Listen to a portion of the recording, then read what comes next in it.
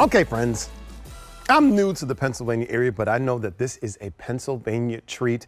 And I know anytime I see Stoltzfus now, since doing Gourmet Holiday, I know that the meat is going to be fantastic. This is Stoltzfus Meats, three 15 ounce fully cooked Pennsylvania Dutch ring bologna. If you're going to find something more delicious than this, I would say it's bologna. Anyway, I had to say that. Our QVC price, $44.98. The easy pay is $11.24. So here's what you're going to get. You're going to get three of those 15 ounce fully cooked bologna. you will see it there if you're looking on your screen. If you're not, come take a peek because I see it there with the crackers and the cheese. It looks amazing. And there are choices. So let's start with garlic. Um, how many are in the garlic, Jonathan? Oh, yeah. So obviously you can get garlic, 200 remaining. There's the cheese. Look at the cheese. 200 remaining in the cheese. And that was most popular in Mary's show today. And this is what we're calling regular. 425 remaining. And then we have a combo where you get one of each. So you're to get one of the cheese, one of the garlic, and one of the regular.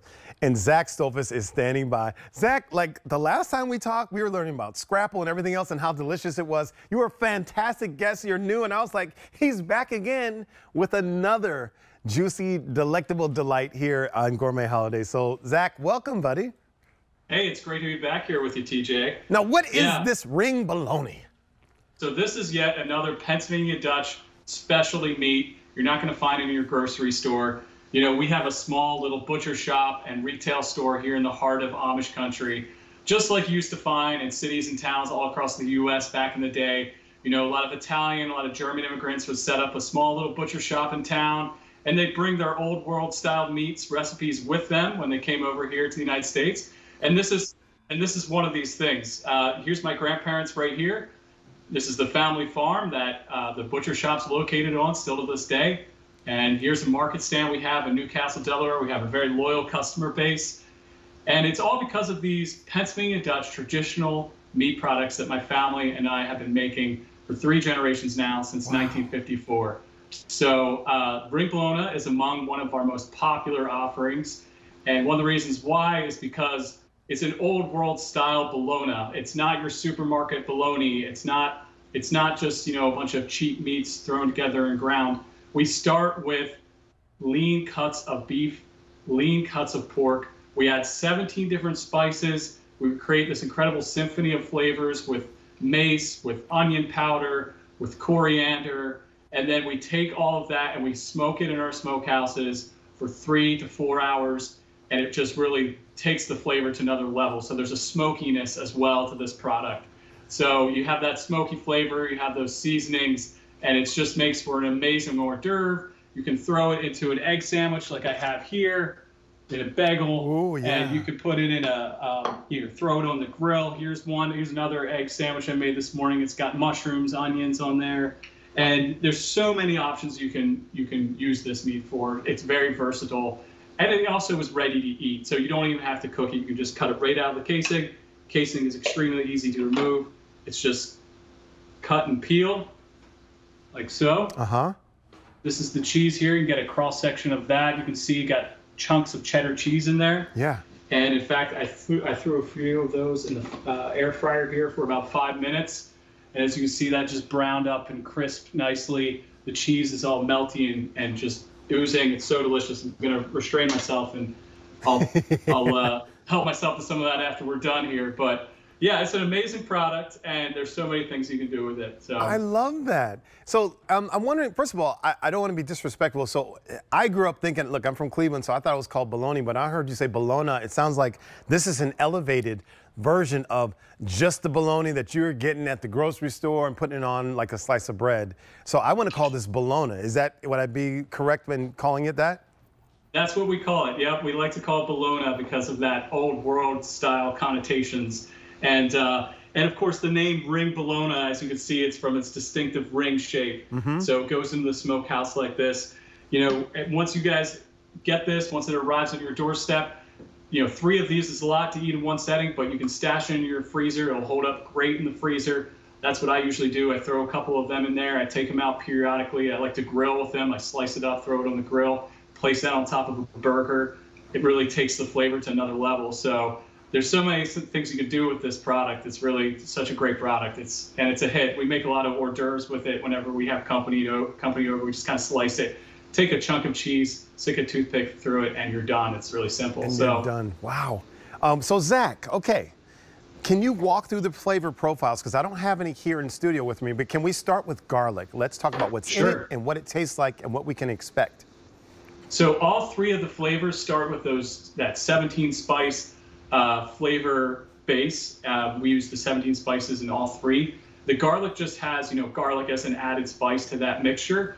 It's not overly garlic, it's just a hint of garlic. I would compare it almost to a kielbasa, just a little bit more finely ground, a little bit leaner. And uh, so I love to put the garlic one in with some sauerkraut. It makes a great um, pierogi as well, a little bit of cheese. It goes great with uh, many mashed potatoes. That's my favorite thing to do with the garlic. The regular I like to cook for breakfast or on the grill, and then the cheese. The cheese is just kind of my all-around snacking flavor that I, I like the most, and that's just our regular or plain flavor of ring bologna with cheddar cheese added to it. Gotcha. And so that cheese, let me, uh, so if you're looking on screen, you could see what the cheese looks like. Zach, what kind of cheese is in there? Is that Swiss cheese? What, what type of cheese is in there? That is a cheddar cheese. That's so cheddar? That okay. Is, uh, yeah, that's a cheddar cheese. Yep, and we found that you know we've done a couple different cheese combinations, but that one is by far the most popular with our customer base. So that's one we've really been selling a lot of is is that cheddar cheese combination. It just makes a great it's just a great combination of flavors. Yeah, listen, I love that. And here's the other thing I think they'll love. If you can't decide on the garlic or the cheese or the regular, we have the combo available. So you're never losing. You get one of each, and then maybe you could decide what your favorite is or continue to get the combo. This is Stoltzfus Meats. You're getting three of those 15 ounce, fully cooked Dutch ring bolognas. Uh, shipping and handling is free, of course, and our easy pay is $11.25. So here's what I love about this is the more I work for, for QVC and the longer I, I spend here, the more I learn about the nuanced um, offerings and the menus that are here in Pennsylvania. And so this um, recipe came for, obviously it's a Pennsylvania treat, but where did it originate from? You, can you tell us that?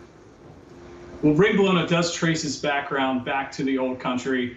It's uh, like many of our other meats, we've had these recipes in our family for generations, and it is very much a regional thing. So Pennsylvania Dutch culture, Pennsylvania Dutch cuisine, it's kind of like Cajun cuisine, right? It's a mm-hmm. it's a uniquely American form of cooking that owes a lot to the old world. So just like Cajun cooking owes a lot to France, you know, Pennsylvania Dutch cooking owes a lot to Germany, which is where a lot of the Amish and Mennonites came over from. So they brought their spices, they brought some of the recipes with them and we've been carrying on that tradition of, of excellence, of premium quality, superior taste in these products. And uh, yeah, we're proud to offer them as the centerpiece for uh, some of people's most important meals, whether it's over the holidays, over Christmas, over Thanksgiving, or just an informal get together. I think that you'll find that these meats are a real hit.